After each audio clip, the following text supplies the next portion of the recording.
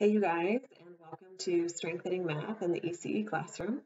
I'm so excited that you have registered and decided to join me on this adventure together into math. Um, if you're anything like me, you may not like math. I intentionally went into the field of early childhood because I didn't want to have to take statistics or calculus in college.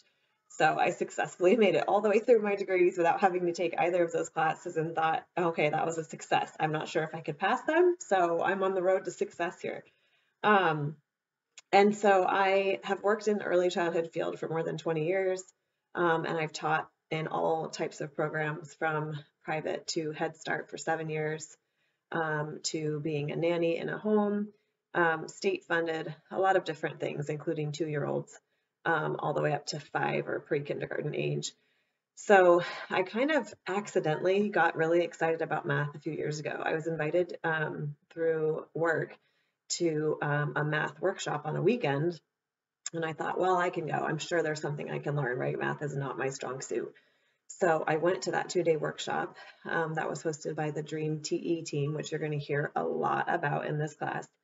Um, and I absolutely fell in love with math suddenly and just got so passionate about it and had a whole new perspective on it. So I'm really excited to share that with you through this class and to help you feel more confident um, and more strong in your own personal abilities with math. Um, I, I, think I've done my students to some extent a disservice over the years by not being more intentional um, about incorporating math. And really, in preschool, we lay the foundation for all of their future math learning, probably even more so than most of us realize.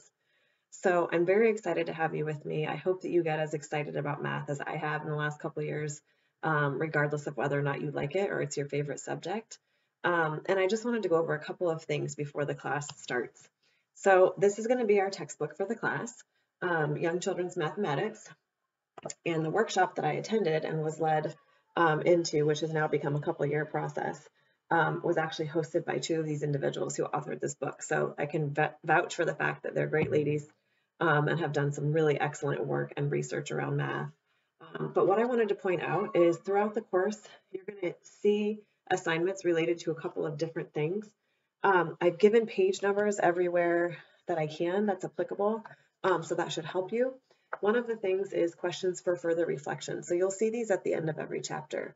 Um, and when you have a forum that's related to reflection questions, or it says refer to question 6.2 or 1.4, um, those are coming right from the textbook. So make sure you have this handy and are able to grab it when you need it for some of those assignments.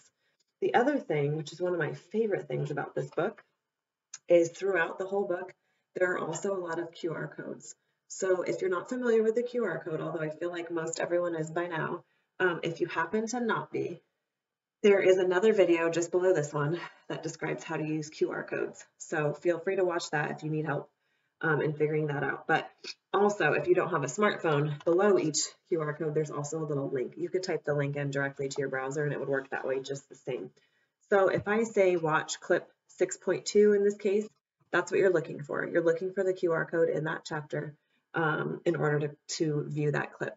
Um, so keep that in mind. We'll be engaging with that quite a bit throughout the semester.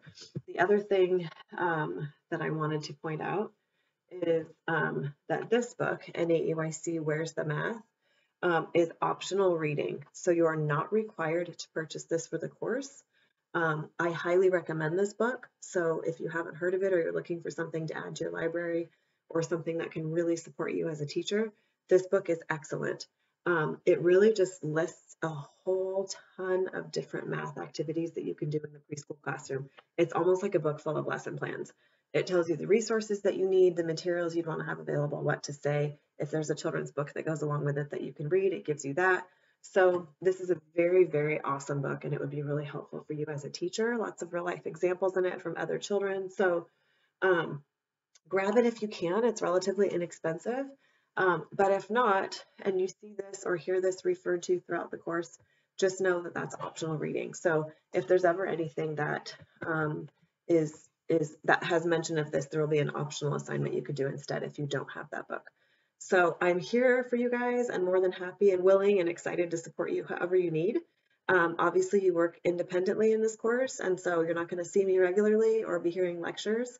But if there's ever a time where you feel like you want more information or need to kind of dissect something further or get help understanding something, whatever it may be, um, feel free to reach out and let me know. I'm available by email, by phone, by Zoom, um, and during office hours if scheduled. So um, please just know that I'm here to support you and help you be successful. And I hope you enjoy the class and have fun getting excited about math. Thanks. Take care.